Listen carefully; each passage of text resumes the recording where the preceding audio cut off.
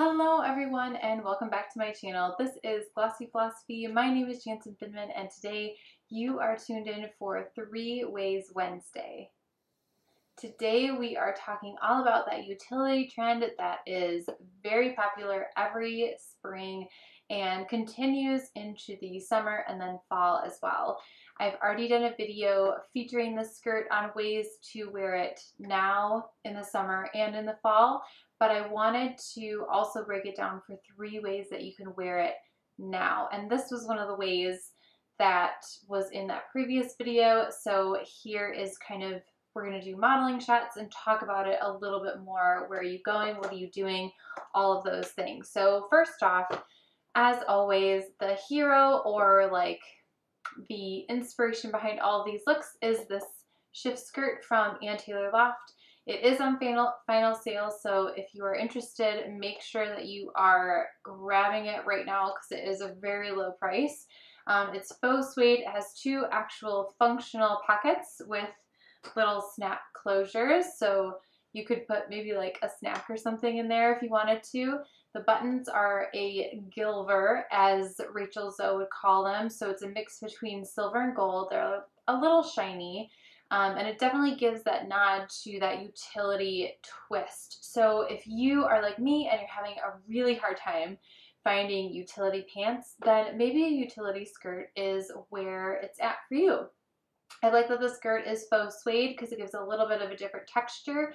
Even though suede is definitely more of a fall material, I wear suede kind of all year long, but because this is in a nice khaki green, I think it can definitely be worn in the summer as I said so in my other video. So let's break down all these looks. I've got my couple of shirts and then I have some accessories which is a little bit different from how we usually do it. We've got complete outfits this time, so super excited. Let's get started.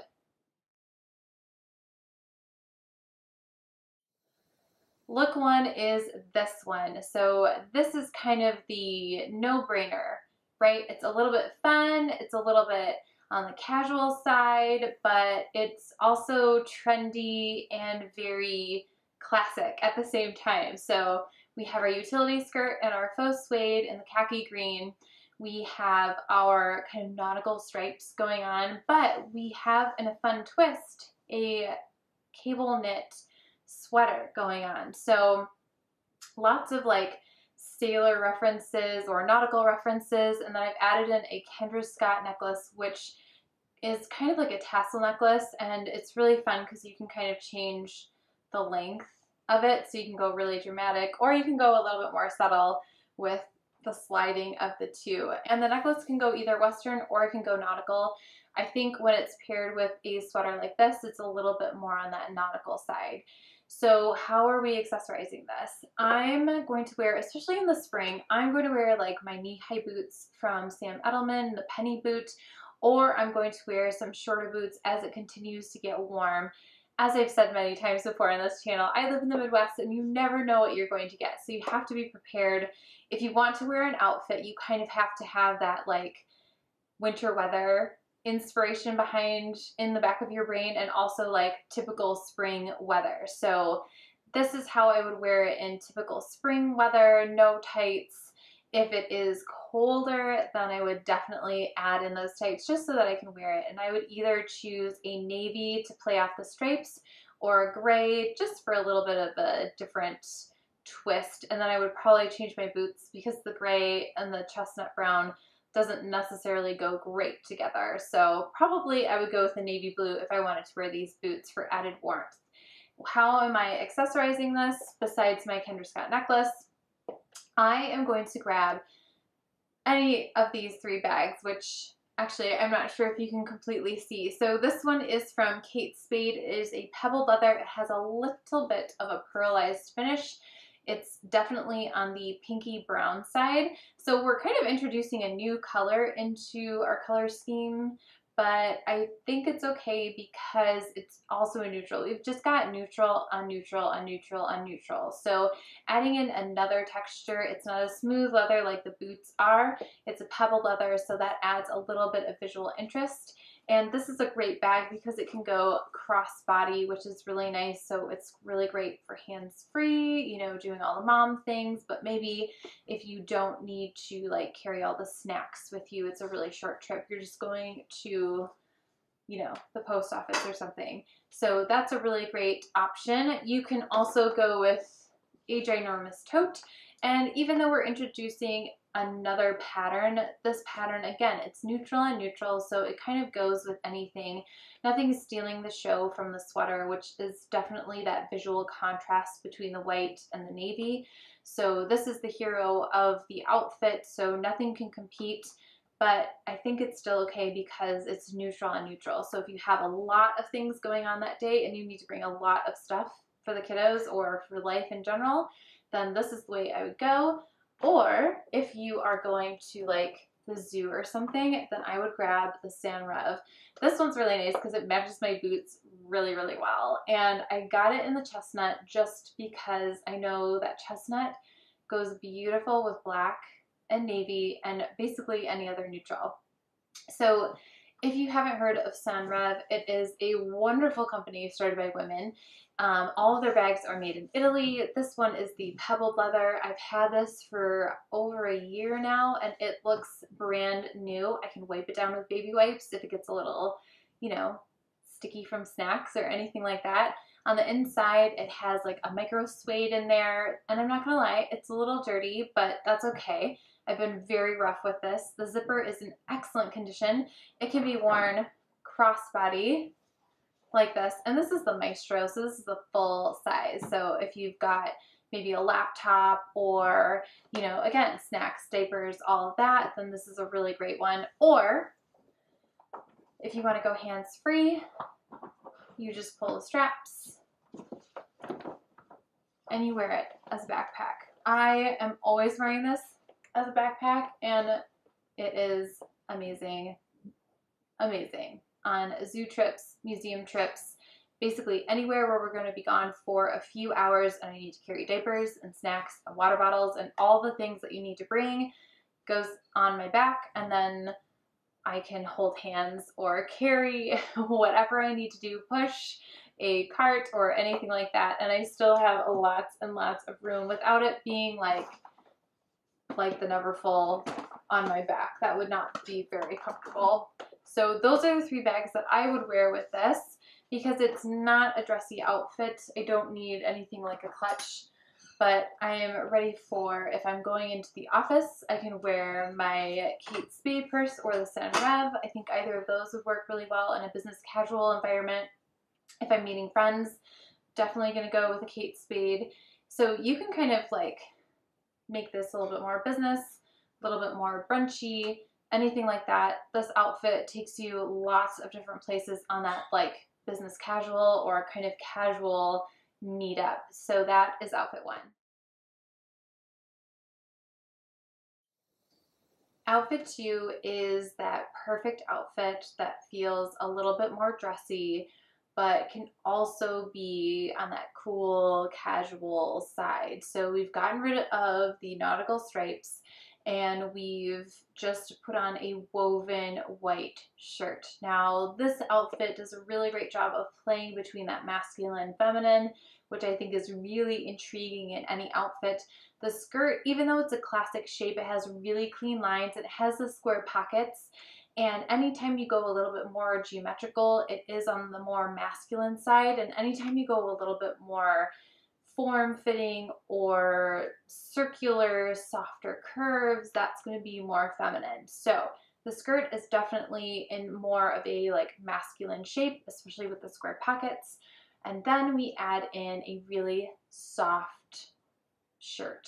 So the sleeves have kind of this billowy um, shape going on. We've got a little bit of detail up here, which is also super feminine. And then I've also added in a few bracelets to draw attention to one of the smallest parts of my body, which is my wrist.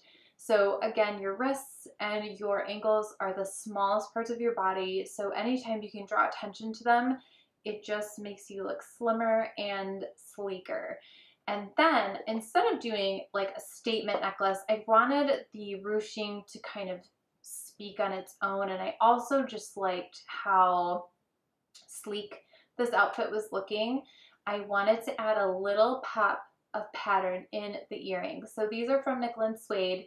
They are the leather earrings and if you've ever had any problems with wearing earrings and having them tug on your earlobes or just feeling uncomfortable throughout the day by wearing earrings, Nickel & Suede does a fantastic job of giving you great statement earrings without the heaviness and it never hurts. I can wear these all day and I basically forget that they're there until one of my kiddos tries to tug on them.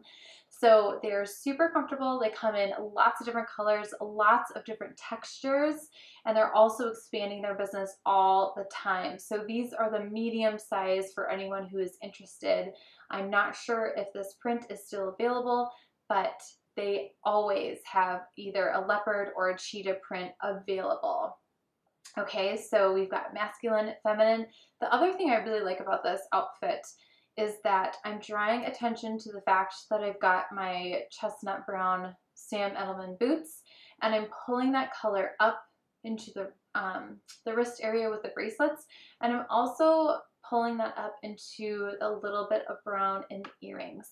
So everything is talking to each other, everything is very cohesive.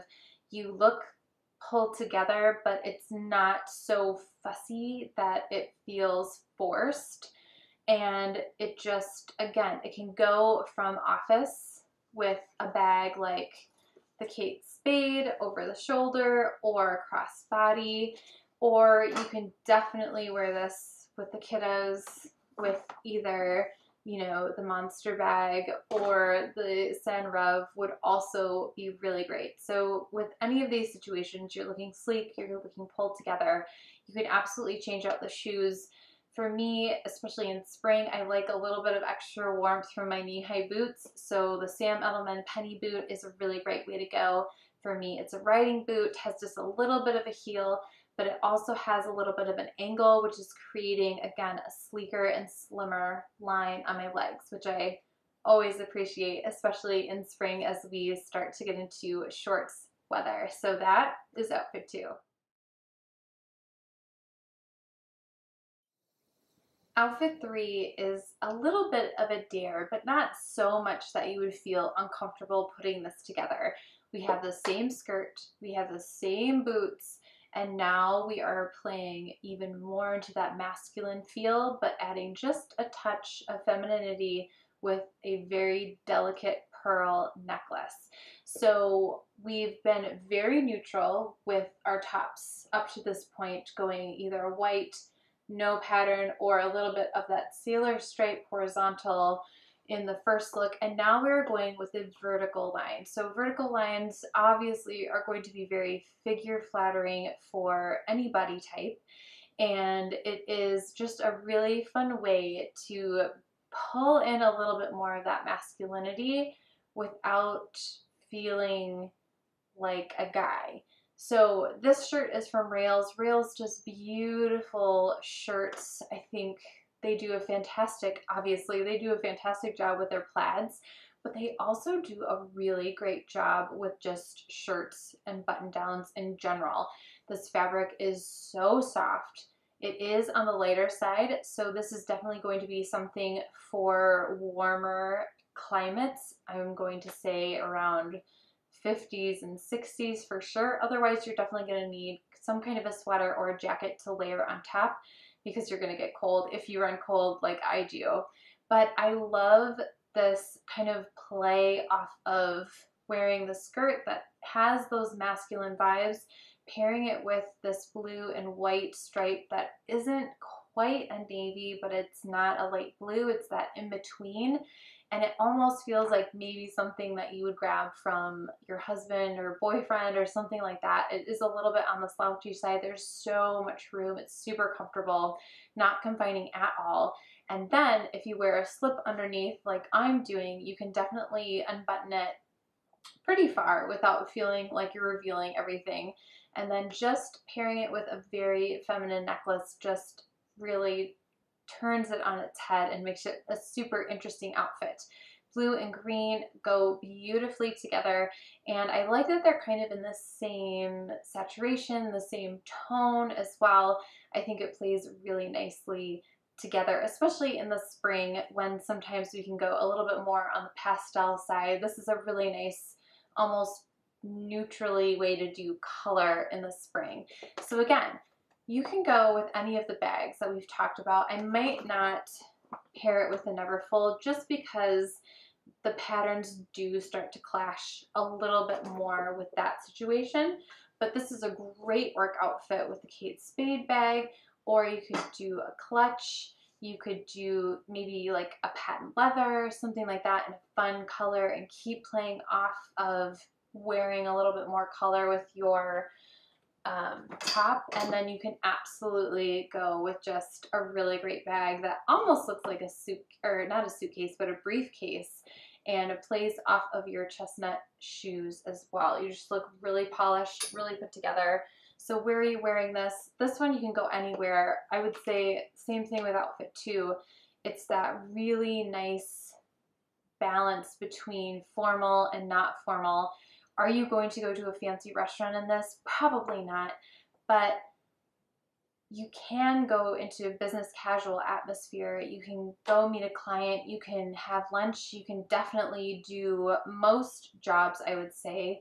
Uh, anywhere where you don't have to wear a suit, this would be very acceptable and it's fun. It's hitting a lot of those trends and it is also classic and something that you will want to wear next spring which is a great way to think about building a sustainable wardrobe and a wardrobe that you will love for years to come. So that is outfit three.